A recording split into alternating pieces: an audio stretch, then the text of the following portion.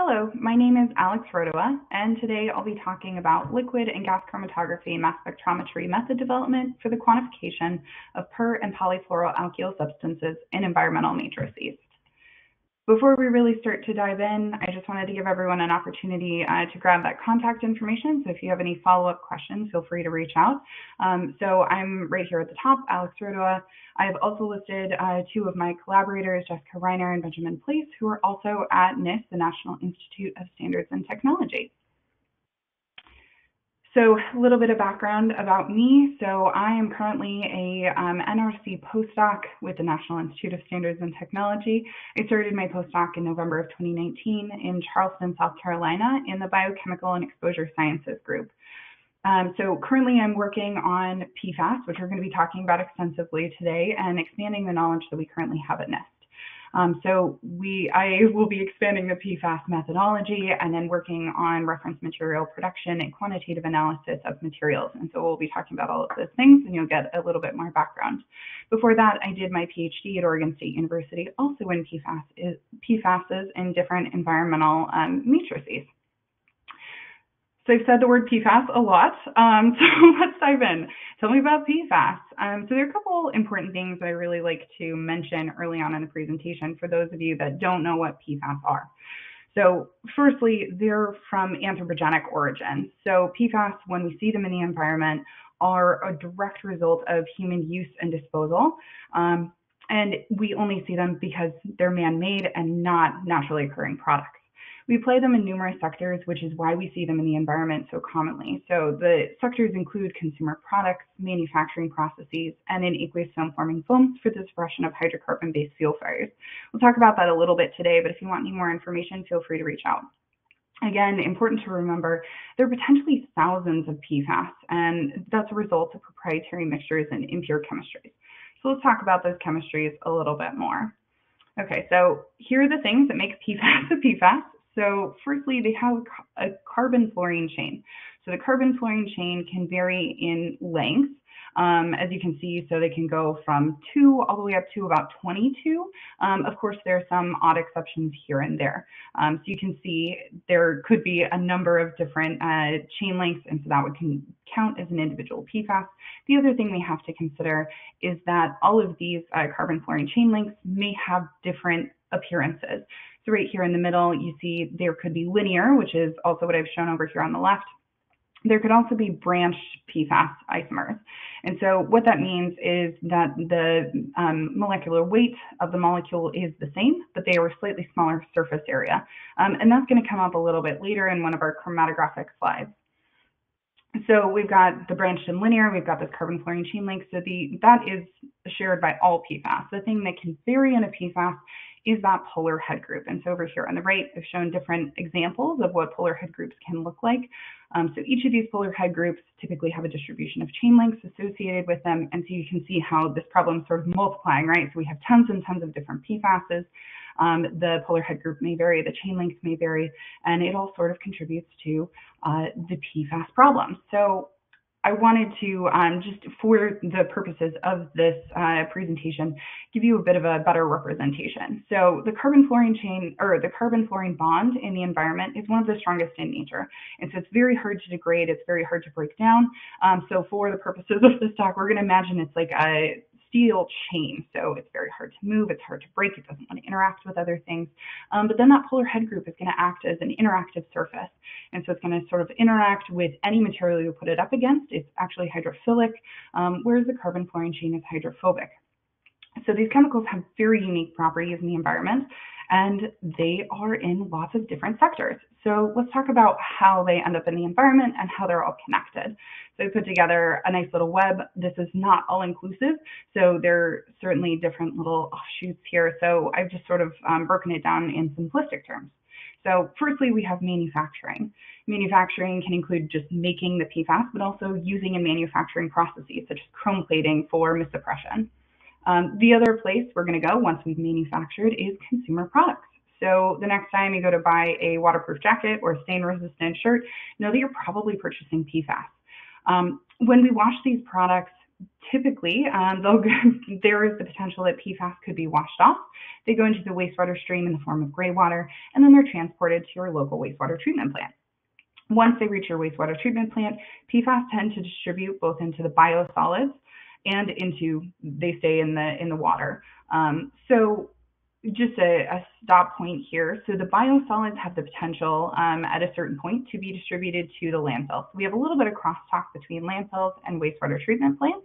Um, so just something to keep in mind. But then that finished effluent may have PFAS in them uh, or in it. And so the PFAS may be distributed to the groundwater, surface water, and drinking water. And we're going to talk about that, that sort of endpoint here in just a second, um, but it's important to keep in mind. So back to our consumer products, we wash them, we love them, they end up at the wastewater treatment plant, and then at the end of the garment's life or the product's life, we'll throw them away.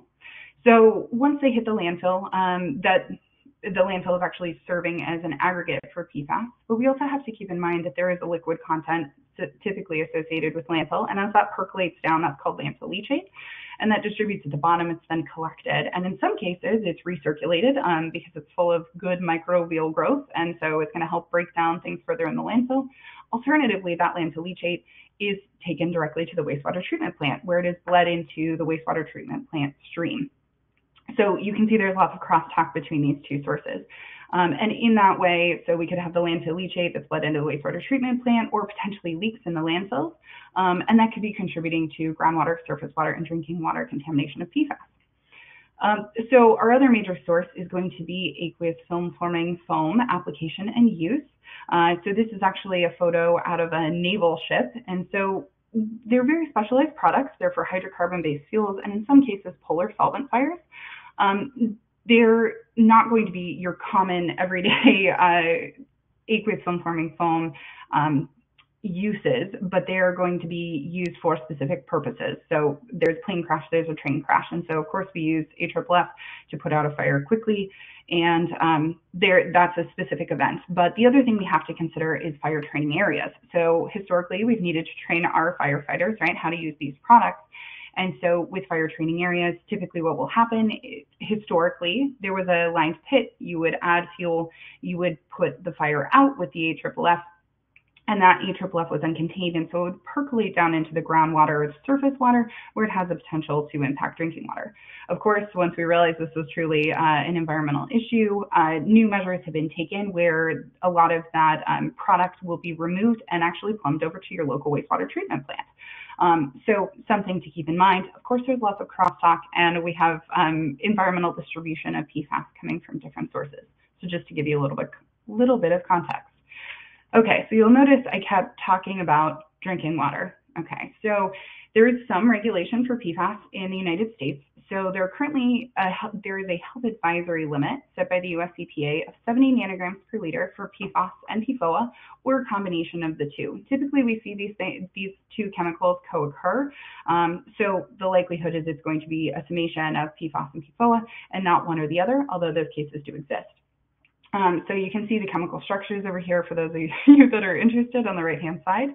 Um, so PFOA has a carbon fluorine chain length of 7, and PFOS has a carbon chain length of 8. The reason that cutoff was set is because that is typically where we see um, negative bioaccumulation happening um, and potentially health effects.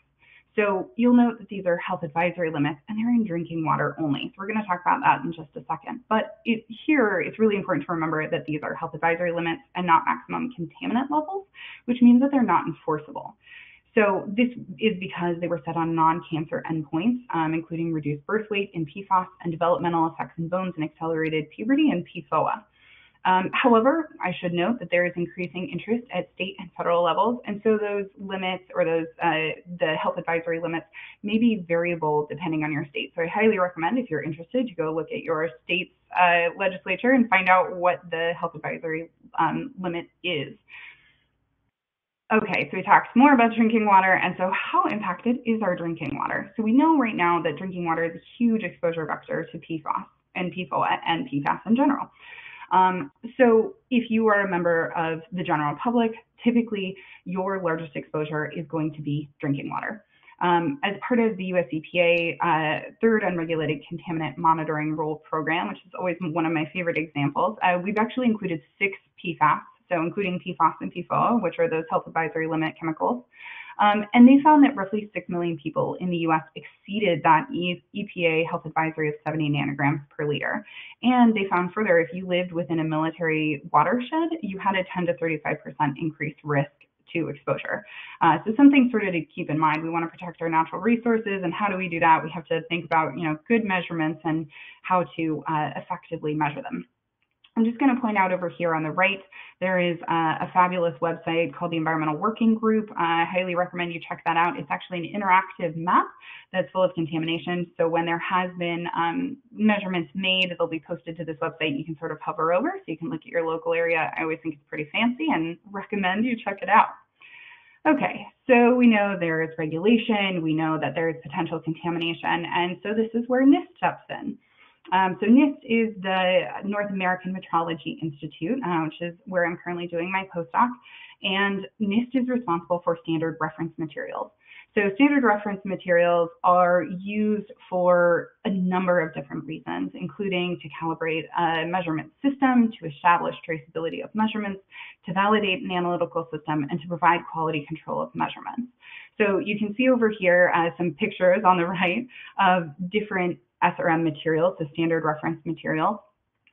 And we're going to be talking a little bit about that um, and sort of my journey to being able to quantitatively measure uh, standard reference materials for PFAS.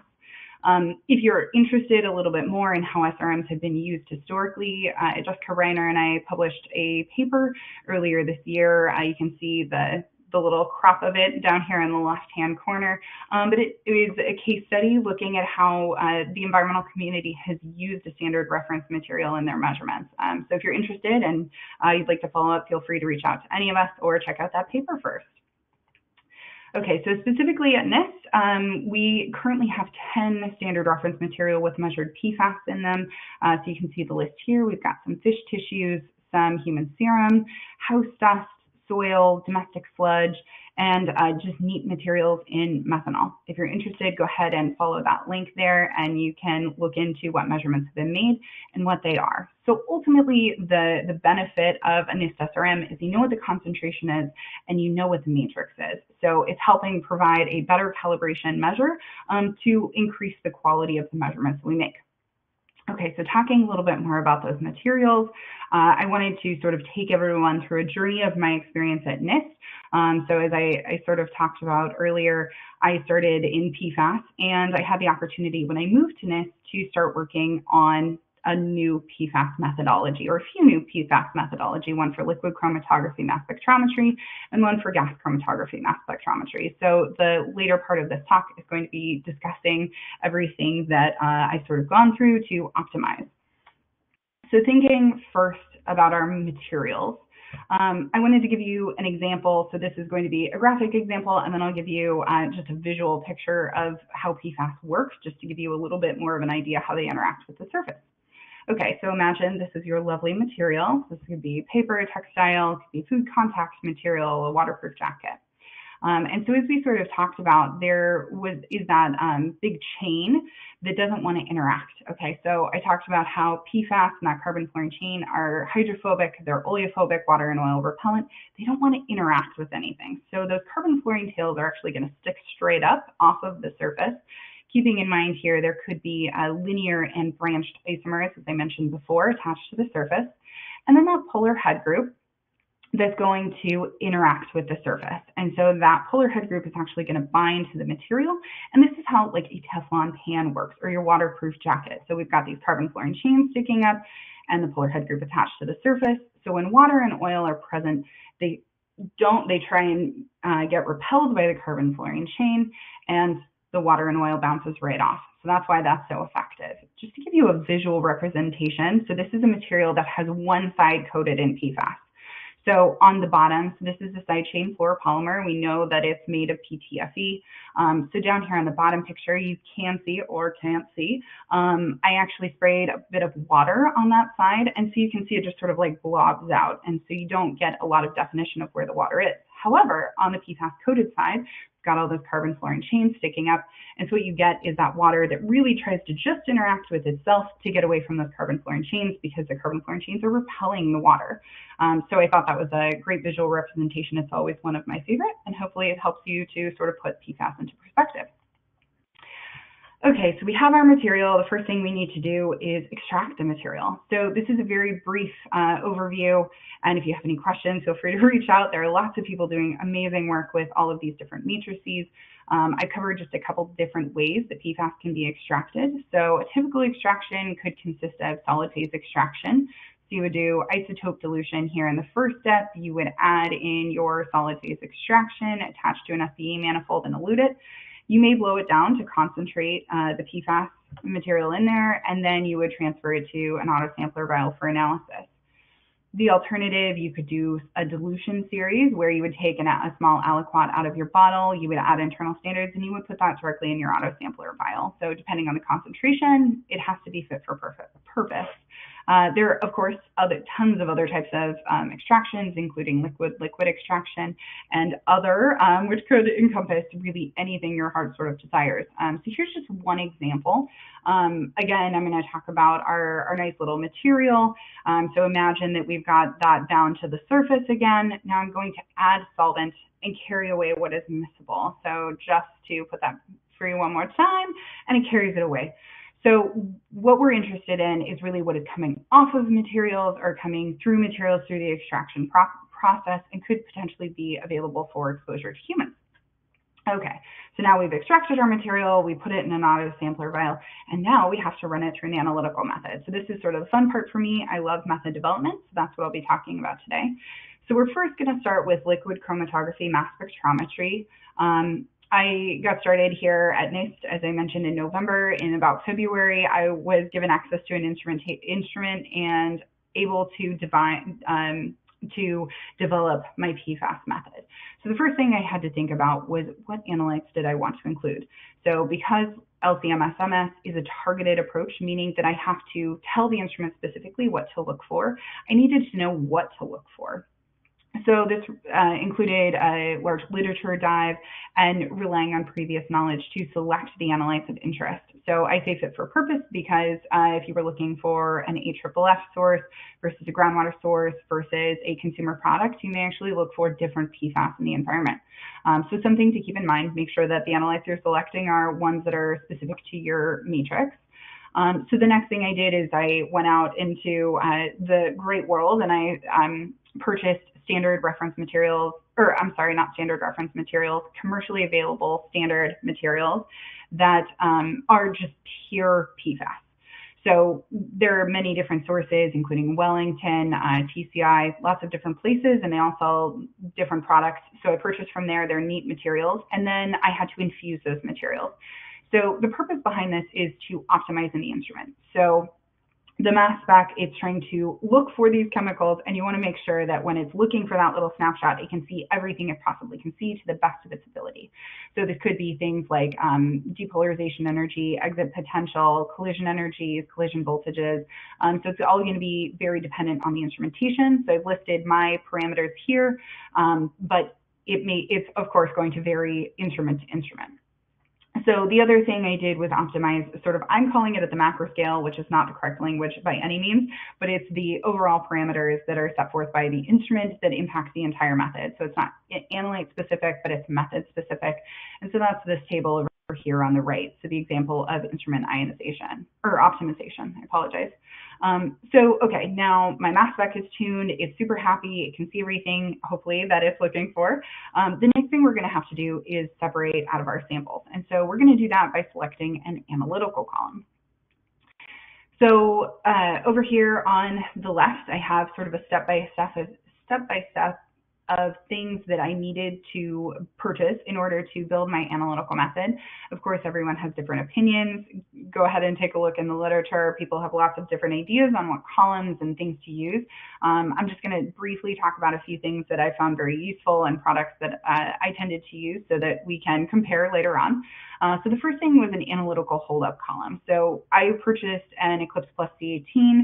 essentially what this does is this goes after goes after your purge valve and it's going to filter out all the PFAS that may be coming from upstream of your sample, so that are resident in the liquid chromatography side of things, so on your LC stack.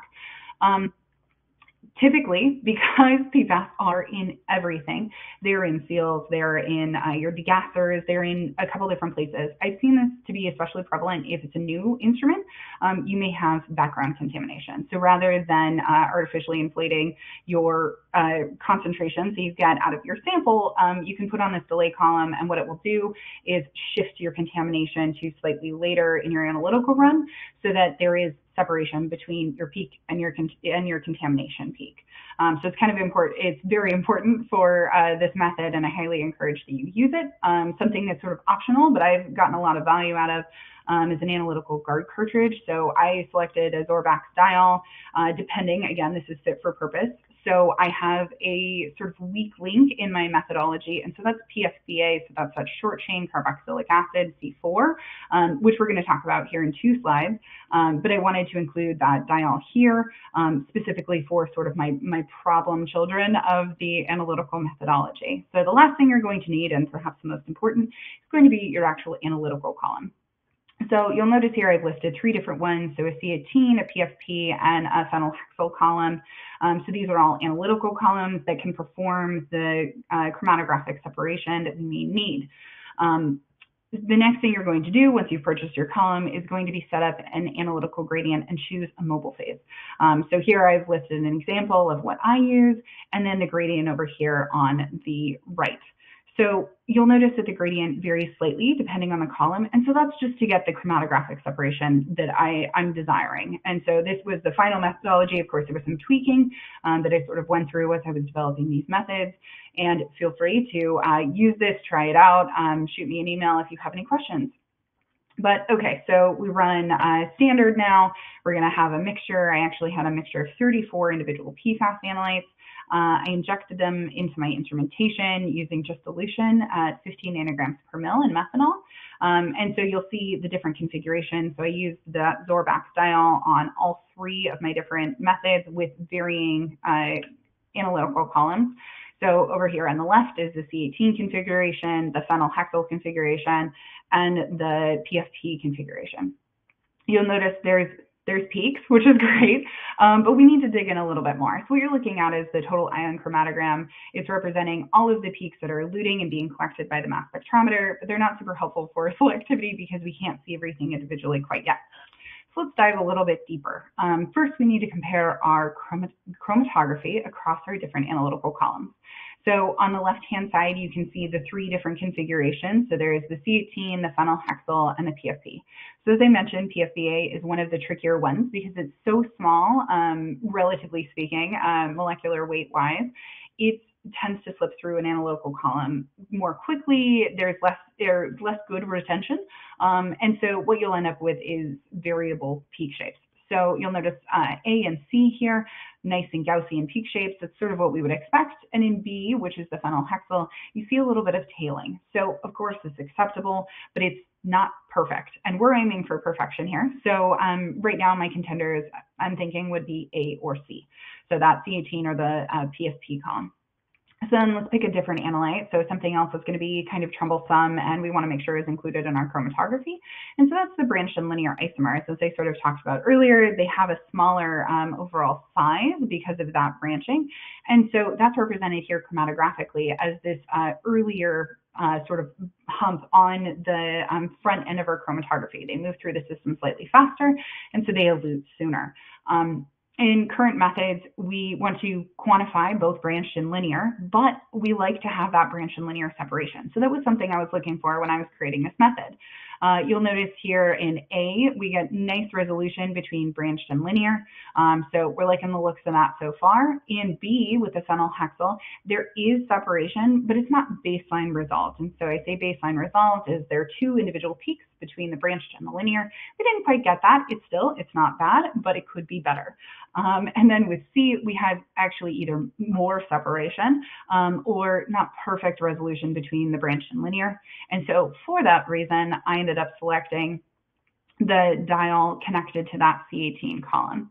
And feel free to grab that information. I really like this column. It's been very stable. I've run probably 1,500 samples on it at this point, and it's still going strong. Okay, so the last thing we have to do, we finalize our method, we're happy with our chromatography, we're happy with our optimization. The last thing we do is we put it into action. Um, so below, I sort of described an experiment where I was evaluating different bulk sorbent phases um, for efficiency in sorbing PFAS from synthetic groundwater. So you'll notice um, the measurements are very close to one another. Those RSD values are quite low. So the reason for that, we are the Metrology Institute. So all of our measurements are made gravimetrically, which means that there's reduced error um, versus doing things volumetrically. So something to consider, but uh, we were quite happy with the results. You'll notice here actually, so PFBA, which we know is our sort of problem child, um, that we didn't get good retention. Um, so the concentration is below my reporting limit. And the reason for that is, is actually the sorbent and not the analytical method. We know that because we could just see it with our analytical description. Uh, so something to keep in mind, just because you don't see it doesn't mean that it's a problem with your analytical setup. You want to validate your analytical setup um, before you sort of dive into your samples. Okay, so we've gone through the liquid chromatography side. Now let's briefly talk about gas chromatography. So gas chromatography was new to me. I was really excited about it. Um, so I'm going to sort of walk you through the steps of developing a, developing a method here. So the big difference between LC analytes and GC analytes are going to be how generally how volatile they are in the environment. Um, so the more volatile analytes are going to be uh, preferentially selected for GC, whereas the ionic or less volatile analytes are going to be selected for LCMSMS. There is a little bit of crosstalk between the two of those, um, but I'm not going to discuss that really today. So again, we have to start at the beginning. So what analytes do we want to include? Um, so we, one, want to make sure that we're selecting the correct analytes, so the volatile analytes, and ones that are appropriate for our matrix. So something to keep in mind. Okay, so gas chromatography versus liquid chromatography, we're going to be starting things a little bit differently. Because there is no way to infuse, we first have to purchase a column and get separation. So the way I did that was I went into the literature, I talked to lots of people who are GC experts, and I selected some columns. So in this case, I again have a guard column, and that's just going to be for analytical separation, um, a connector between the two, and then an analytical column. So I actually selected an RTX VMS column from Restek. Uh, it's a great column. I've really enjoyed it so far. Um, it is a proprietary blend, but I suspect it primarily works off of hydrophobicity, which is going to be to our benefit here, and we'll discuss that in a second. Um, but so now we have our analytical column. The important thing that we need to know is the boiling point of our analytes. So I mentioned hydrophobicity, um, and the reason for that is most of the elution is going to be a result of boiling point plus the interaction with the stationary phase in your analytical column. So to start and to get that initial uh, chromatographic separation, I wanted to go uh, slow and steady. And so I did that by creating a very slow ramp um, all the way up to the maximum of my column where I held it just to get off any extra contaminants that could be in there. So over here on the right, you can see the representation of my um, method, my uh, temperature gradient. Okay, so we've run our low and slow method, and now um, using analytical standards, we're going to set up a sim scan method, which is uh, the selection that you would put in your, uh, your GCMS. And we want to include the M over Z range of your analyte. So we need to, again, it's targeted, so we need to make sure that we know what we're looking for. Um, then we're going to identify ions and build a SIM method for the most abundant ions. Um, and so I've, cre- I've um, included a picture over here on the right, but it's kind of hard to see. So let's dive in a little bit more, see what I mean by that. So I've taken an example, which is the, this is the H2 fluorotelomer alcohol or FTO um, in SimScan mode. So I've included my, uh, my total ion chromatogram with my M over Z that was including the H2FTO range. And you see we've got a nice peak here. So if I scroll over that peak and I look at the spectra that's coming off of it, you'll see all of these little peaks. And so these are the ions that I'm going to select and test for inclusion in my methodology. Okay, so you'll notice that there are some sort of smaller peaks over here on the uh, higher mass M over Z range, mass to charge uh, over on the, I'm sorry, on the right. However, on the lower end, you get higher abundance but less selectivity. So the reason for that is because this is uh, typically more of a hard ionization technique. Um, you're going to get more uh, mass over on the left side at the lower range. So we're going to include mostly the high-end mass range, but uh, not going to completely include or exclude our low-end mass range. So just something to keep in mind. Okay, so now I've selected my ions that are directly related to my H2FTO. And then I'm going to come back and I'm going to build a SIM MRM method with those specific ions. And I'm going to try and select the most abundant ions. Okay, so how do we do that? Um, so you'll notice that 445, the 406, and 464 were all in my uh, selected ions uh, off of our H2F2 example from a few slides ago. And now I ran them, I looked at the total abundance. So you'll see that 445 was selected as my quantitative ion because it's the most abundant. 406 is my qualitative ion because it's slightly less abundant. And 464 was actually omitted from the method because it's less abundant.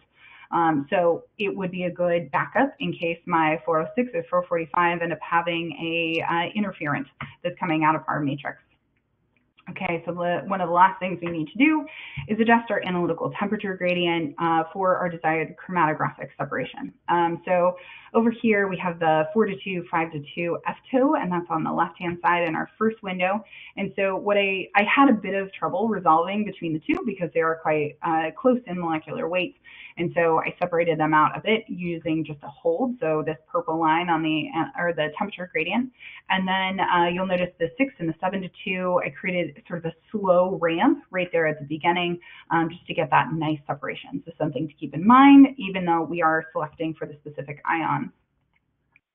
Last thing we need to do is define our windows for increased sensitivity. So you can see these little gray bars with the arrows. So those are my individual windows. This just helps to uh, weed out the noise uh, and reduce the amount of scans that the instrument is doing per second. So the last thing we have to do now that we have our happy method is to apply the method. Um, I'm currently in the process of extracting SRM materials and uh, I'll have more data for you soon. And with that, I just wanted to wrap up. Thank you so much for your time and attention. Feel free to reach out if you have any additional questions.